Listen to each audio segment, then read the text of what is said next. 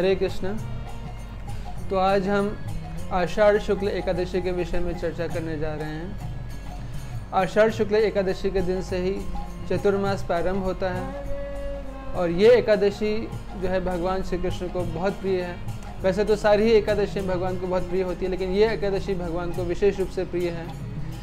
शास्त्रों में विशेष रूप से पद्म पुराण में सभी एकादशियों का विस्तार पूर्वक वर्णन किया गया है। पद्म पुराण के अंदर ये प्रसंग आता है कि महाराज युधिष्ठिर भगवान श्री कृष्ण से सभी एकादशियों के महात्मा के विषय में प्रश्न करते हैं। तो युधिष्ठिर महाराज जब आषाढ़ शुक्ल एकादशी के विषय में भगवान श्री कृष्ण से प्रश्न करते हैं तो उन प्रश्नों का उत्तर देते हुए भगवान श्री कृष्ण बताते हैं कि इस एकादशी को शयनी एकादशी भी कहा जाता है। इसको शयनी एकादशी क्यों कहा जाता है? इसको शयनी एकादशी इसलिए कहा जाता है क्योंकि शास्त्रों के अनुसार ये जो चतुर्मास का समय है, जो इस एकादशी से प्रारंभ होने जा रहा है, इस समय में देवता लोग जो हैं वो शयन करते हैं। भगवान विष्णु जो है, इन चार मास में शयन करते हैं और जागते कब हैं? जागते हैं कार्तिक शुक्ल की एकादशी के समय। तो चार मास जो हैं ये श्रावण के बाद भाद्रपद, अश्विन और कार्तिक, ये चार मास जो हैं ये चतुर्मास के इनका प्रारंभ जो है वो इसी एकादशी से होने जा रहा है। श्री कृष्ण भगवान बताते हैं युधिष्ठिर महाराज को कि इस एकादशी के दिन से भगवान का एक रूप जो है वो बलि महाराज के पास सुतल लोक में रहता है और दूसरे रूप में, दूसरे विस्तार में, अपने दूसरे रूप में भगवान जो है वो क्षीर सागर में शेषनाग की शैया पर शयन करते हैं। जिन लोगों को शास्त्रों में श्रद्धा नहीं है, जो शास्त्रों की बातों को जानते नहीं हैं, उन लोगों में यह भ्रम हो सकता है कि ऐसे कैसे सनातन धर्म के अंदर वैदिक साहित्य में ये क्या बात हुई कि भगवान सो गए। भगवान कैसे सो सकते हैं? और अगर भगवान सो गए तो संसार कैसे चल सकता है? इसको हमें बहुत आसान तरीके से समझना चाहिए। उदाहरण के लिए, मान लीजिए कोई प्रधानमंत्री है देश का तो वो भी रेस्ट करता है, वो भी विश्राम करता है, वो भी सोता है। मान लीजिए चार घंटे सोए या छः घंटे सोए या आठ घंटे सोए, लेकिन जब प्रधानमंत्री सोता है, इसका मतलब ये नहीं है कि सारे के सारे देश जो है वो सो गया और देश में कोई कार्य नहीं हो रहा है। जब प्रधानमंत्री सो रहा है, लेकिन फिर भी उसका जो मंत्रालय है वो एक्टिव है, उसके जो डिपार्टमेंट्स हैं वो एक्टिव हैं और देवताओं के सारे कार्यकलाप जो हैं वो चलते रहते हैं। उसी तरह से इन चार मास में भगवान विष्णु भले ही शयन करते हैं, लेकिन फिर भी भगवान की जो व्यवस्था है, भगवान की जो शक्तियाँ हैं, भगवान के जो डिपार्टमेंट्स हैं वो हमेशा कार्य करते रहते हैं। तो सुतल लोक में भगवान का एक रूप रहता है और दूसरा रूप से भगवान शीश क्षीर सागर में शेष शैया पर शयन करते हैं। तो ये इस एकादशी का विशेष महात्म्य है। एकादशी व्रत वैसे भी बहुत महत्वपूर्ण व्रत है। माधव तिथि भक्ति जननी, आचार्य श्री भक्ति ठाकुर कहते हैं कि जब माधव तिथि एकादशी की तिथि है, ये भक्ति की जननी है।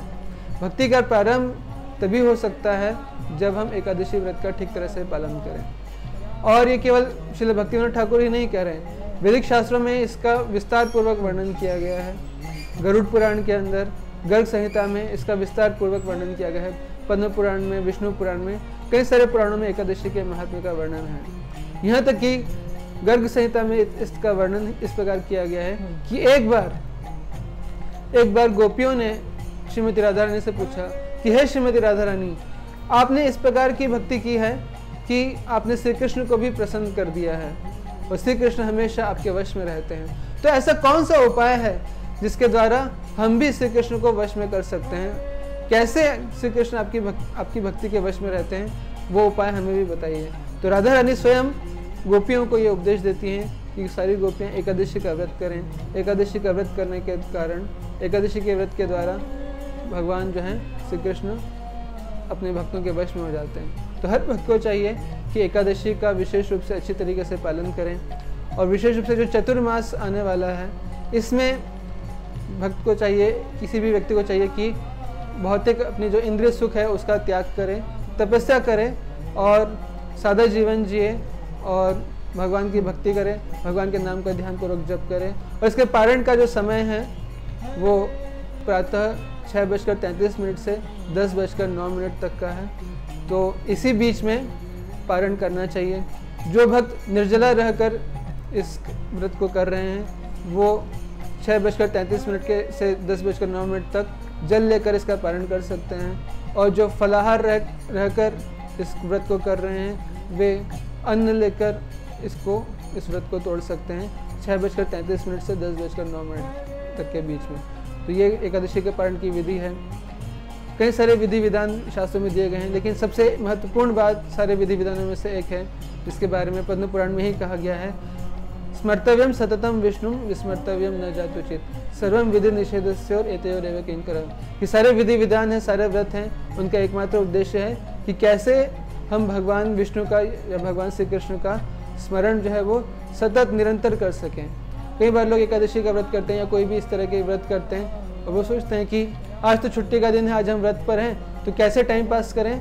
तो उसके लिए कई बार लोग जो है मूवीज़ देखने लगते हैं, गाने सुनते हैं, अंताक्षरी खेलते हैं, इस तरह के हमने देखा है कई बार। लेकिन इस तरह के कार्य नहीं करने चाहिए। एकादशी का मतलब है कि हम भगवान की भक्ति में अग्रसर हों, भगवान की भक्ति ज़्यादा ज़्यादा करें, ज़्यादा से ज़्यादा भगवान के नाम का जप करें, ज़्यादा से ज़्यादा भगवान के नाम का कीर्तन करें, शास्त्रों को, गीता, भागवत जैसे ग्रंथों को ज़्यादा से ज़्यादा पढ़ें, ज़्यादा से ज़्यादा हम वैष्णव की सेवा करें, भक्तों की सेवा करें। और इस तरह से अपने जीवन को सफल बनाएँ। आप सभी से प्रार्थना है कि इस चैनल को ज़रूर लाइक करें और सब्सक्राइब करें, ताकि ये संदेश आगे और भी लोगों तक पहुँच सके और इस वीडियो को शेयर करना ना भूलें, ताकि ये एकादशी का जो संदेश है, भगवान की भक्ति में अग्रसर होने का जो माध्यम है, ये सारी, सभी लोगों तक बहुत ही सरलता से पहुँच सके। हरे कृष्ण।